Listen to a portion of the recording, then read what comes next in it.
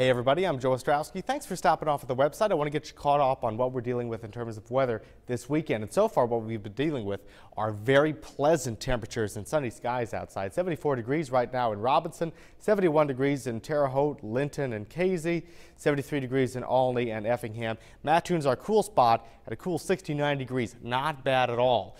We are, however, tracking potential for some of those April showers moving across the plain states. You see them developing out there over northern Missouri, over parts of Illinois as well. We're going to be dealing with some of those showers, again, very short-lived isolated showers over the next few days. You can see them here on the Futurecast forecast. The first of them moving through overnight is part of a system that's going to be dominating our weather over the next few days. Tonight, overnight lows in the low 50s, southwest winds 10 to 20 miles an hour, so a little breezy out tonight. Tomorrow, we again have uh, partly cloudy skies, potential for some isolated and brief showers but not bad in terms of temperature. Still warming up into the low 70s, still a little breezy as well during the day tomorrow. Cloud cover remains in the picture. But tomorrow night into early Monday morning, we cool back down to the mid 50s, nothing new there. Still some potential for isolated showers, even an isolated rumble of thunder here and there. Again, not expecting any kind of a washout by any means.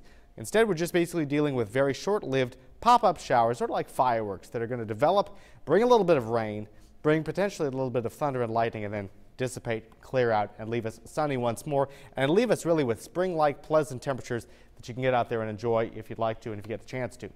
Tonight, in terms of temperature, we're looking at around 52 degrees for our overnight low, about a 20% chance of showers, a little bit of lightning and thunder potential as well tonight.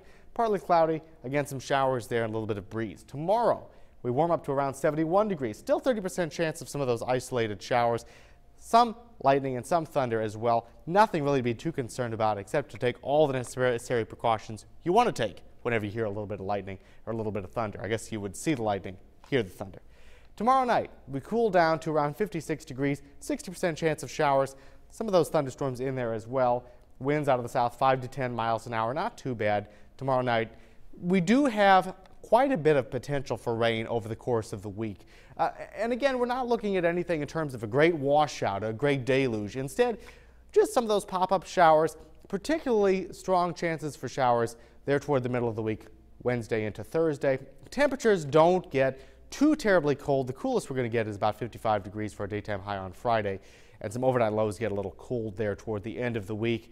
But we're still fairly mild through the course of the week, just some potential for showers there. Things look to clear out, though, in time for next weekend. For Storm Team 10, I'm Joe Ostrowski.